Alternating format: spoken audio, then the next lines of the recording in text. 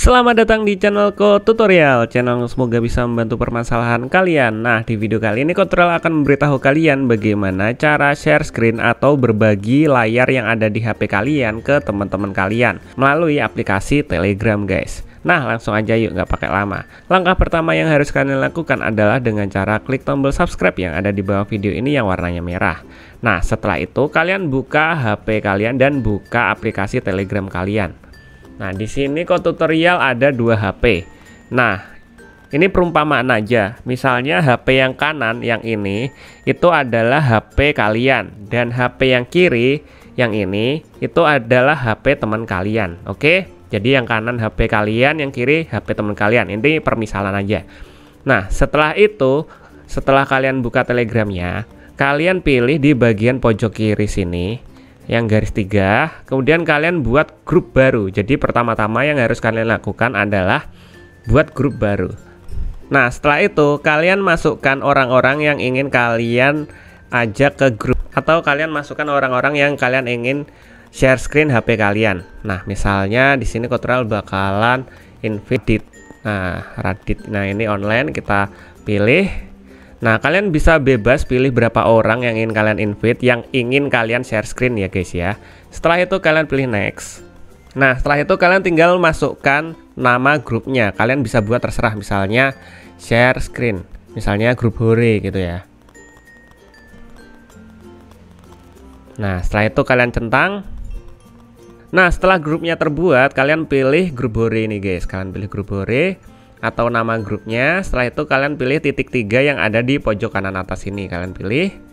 Kemudian kalian pilih mulai panggilan video. Nah, setelah itu kalian mulai obrolan. Nah, setelah muncul seperti ini, kalian suruh teman kalian untuk join ke dalam grup Telegram yang udah kalian buat dan suruh teman kalian juga untuk join ke voice-nya. Nah, caranya gimana? Nah, misalnya ini HP teman kalian. Nah, pasti nanti akan ada grup baru. Nah, ini namanya grup hore. Kalian tinggal masuk ke grup hore. Kemudian kalian kemudian akan muncul di bagian atas sini yaitu obrolan video. Nah, suruh teman kalian untuk bergabung. Nah, ini teman kalian udah masuk ke dalam grupnya. Nah, Bang, kok nggak ada suaranya? Nah, untuk aktifkan suaranya, kalian tinggal pencet yang bunyikan ini. Nah, nanti kalian tinggal ngomong. Nah, ini udah berbicara. Nah ini kita Nah ini kalau tutorial matikan dulu soalnya nanti double karena HP-nya bersebelahan gitu. Jadinya double. Jadi nanti kalau mau ngomong kalian tinggal bunyikan, kalau matiin kalian tinggal matikan kayak gitu guys. Nah sekarang cara share screen-nya. Nah cara share screen-nya kalian pilih di bagian sini samping kotak sini ada tanda titik tiga kalian pilih. Setelah itu kalian pilih yang berbagi layar. Nah kalian berbagi layar ini. Kemudian kalian mulai sekarang. Nah, udah. Nih HP kalian udah share screen uh, ini berbagi layar. Nah, nanti di tampilan teman kalian munculnya akan seperti ini. Nah, kalian bisa perbesar, suruh teman kalian untuk lihat dengan cara ketuk untuk gedein. Misalnya mau kecilin lagi, kalian balik uh, back ke sini, nanti balik kecil. Nah, misalnya kalian ingin share screen video, misalnya video yang ada di galeri. Kalian tinggal buka galeri, kemudian kalian share screen video yang ada di sini. Tapi karena di sini nggak ada apa-apa, HP-nya kok tutorial jadi nggak ada apa-apanya. Misalnya aja ya kalian mau play video, kalian buka galeri terusan play video kalian.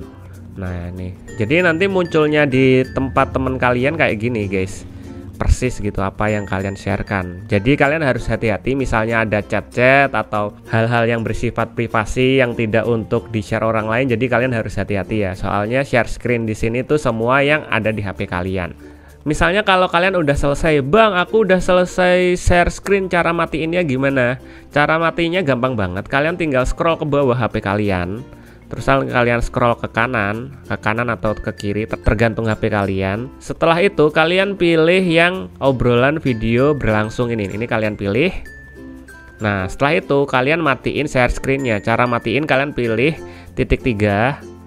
Setelah itu kalian pilih stop nih stop berbagi layar atau stop bagi layar nah nanti share screen di teman kalian akan mati kayak gitu guys nah misalnya udah selesai telepon-teleponan sudah selesai nonton sudah selesai share screen kalian keluar Nah, kalian matiin. Nah, kalian matiin. Gitu guys caranya. Gimana? Mudah bukan?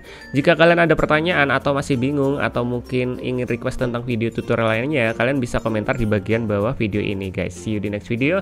Semoga video ini dapat membantu kalian. Bye bye.